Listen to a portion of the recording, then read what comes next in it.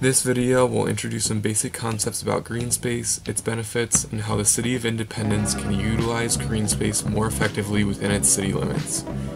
Green space is an area of green, i.e. grass, trees, or other vegetation set apart for recreational or aesthetic purposes in an otherwise urban environment. Several studies prove that green spaces increase the overall vitality, health, and well-being of the city and the residents that live within it.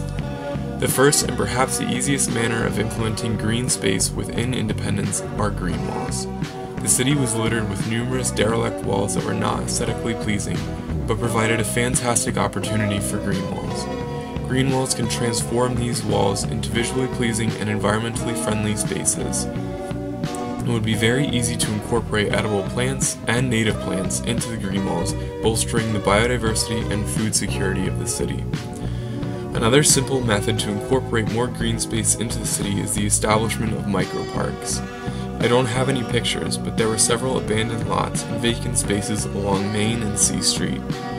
While in the long term, it may make sense to develop business in these locations, it would be simple to plant native plants, put park benches, and perhaps playground equipment in these spaces, temporarily, increasing the recreational capacity of the city, as well as utilizing vacant space to promote exercise, aesthetic values, and biodiversity.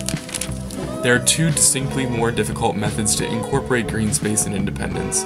The first would be an establishment of a green belt. While slightly outdated, a green belt would benefit Independence in a variety of ways.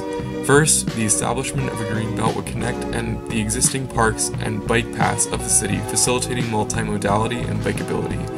Secondly, the Greenbelt would help create a sense of place, physically isolating the city of Independence from Monmouth, a much more effective method than a sign. The second challenging but necessary method of incorporating green space in the city is to preserve and establish a riparian zone in the construction area near City Hall. Currently, there is no buffer between crushed gravel and the river. Establishing a riparian zone would connect these city parks, prevent erosion that is sure to infringe upon potential development, decrease sediment and pollutants entering the Willamette River, and promote aquatic ecosystems and protect future developments in this zone from floodwaters. If Independence does not establish this riparian buffer, the future developments in this area will be threatened by flooding and erosion. To conclude, Independence must establish green belts with native plants, edible landscaping to promote food security, aesthetics, and biodiversity.